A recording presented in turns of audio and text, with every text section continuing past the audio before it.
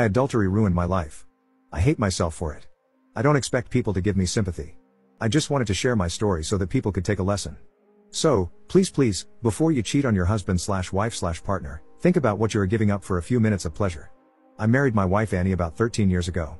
We dated for three years and tied the knot. Our marriage was great. We were really happy. Suddenly she becomes pregnant. I know it is kinda our fault because we didn't use protection every time. We decided to keep the baby and our son was born. I thought our family was complete. But things drastically changed. My wife was always busy with our son.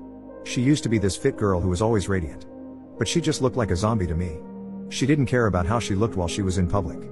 I started to feel resentment towards her. Before I did anything stupid I talked to her and gave her an ultimatum that if she doesn't go back to her normal shape I would leave her.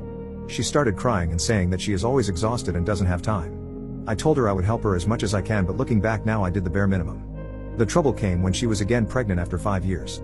All the hard work she has done was down the drain. She gained a lot of weight. I avoided her. Just looking at her made me sick. I was either